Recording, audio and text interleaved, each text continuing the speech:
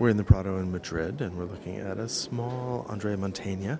It's the Dormition of the Virgin. And the painting that we're seeing is only the bottom two thirds of the original. Right, so it would have had a top that showed the vaulting of the architecture, the bottom half of which we see in this panel, So the- and would have also shown Christ receiving the Virgin's body. That actually sort of raises the question what does dormition mean?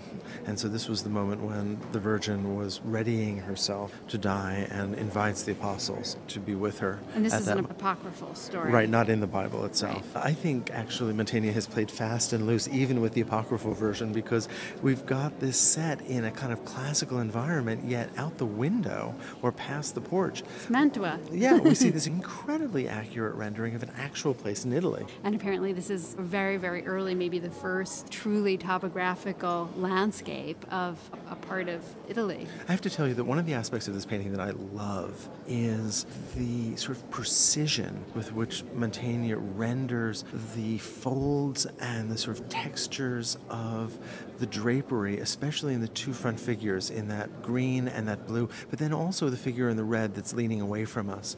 If you look at it, it's almost as if there's static electricity that makes the, the cloth cling to the body that Yeah. exposes it. You were mentioning the classical oh, he's architecture. clearly looking This is- classical This is sculpture. classical sculpture, right? Being brought to life again. But I'm looking also down at the floor where we see the tiles forming the orthogonals of the linear perspective.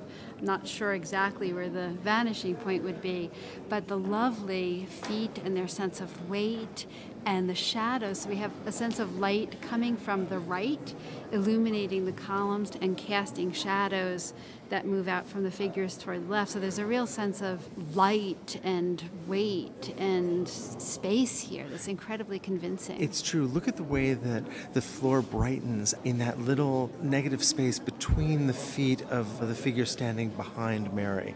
And while I'm mentioning Mary, she seems so minor in comparison to the rest of the image. She's so pale and so frail, but so small in com- comparison to the much more vigorous figures around her, and also, of course, the scale of the architecture. But we do have a sense of them surrounding her and this moment that's about to happen of her death and the figures grieving for her.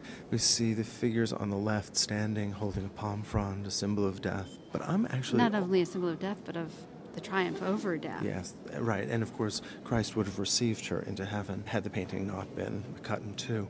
But I love on the right the way in which the figures are singing and the way in which the candles are not held perfectly vertically Yeah. but are responding to the movements of the body just Yes. ever so slightly to make the sense of movement and rhythm and change Mm-hmm. even in this very stable environment And that figure who leans over her bed, who almost is our counterpart in the painting.